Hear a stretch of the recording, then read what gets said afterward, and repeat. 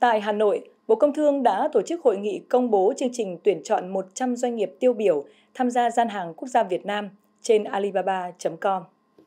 Tại sự kiện, đại diện Cục Xúc tiến Thương mại cho biết,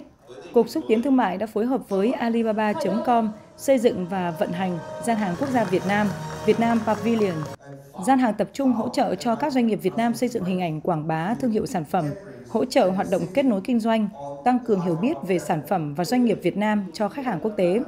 Chương trình tuyển chọn 100 doanh nghiệp tiêu biểu Việt Nam tham gia gian hàng quốc gia Việt Nam, Việt Nam Pavilion nhằm tạo điều kiện cho các doanh nghiệp có cơ hội tiếp cận hàng triệu khách hàng trên toàn thế giới thông qua mạng lưới khách hàng rộng lớn của alibaba.com. Doanh nghiệp được tuyển chọn sẽ có quyền lợi hấp dẫn, được học hỏi kinh nghiệm thực tế từ những nhà xuất khẩu thành công.